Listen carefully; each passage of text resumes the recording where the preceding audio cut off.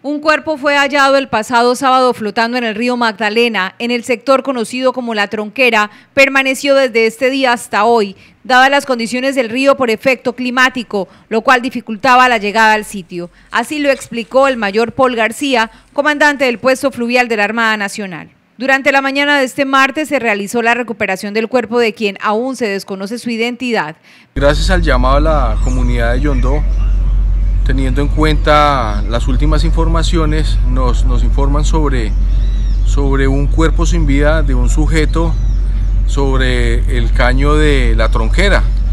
Eh, la Armada Nacional el fin de semana con este llamado trata de ingresar al lugar donde supuestamente está este cadáver y eh, con resultados negativos no se puede ingresar teniendo en cuenta el bajo nivel del río.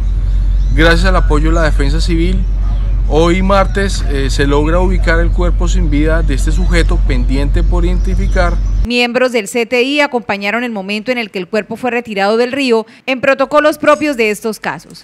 Y teniendo en cuenta el, alto grado de descomposición, pues eh, será parte de labores de la criminalística con el fin de poder identificar eh, las causas de muerte de este sujeto, al igual que su valoración.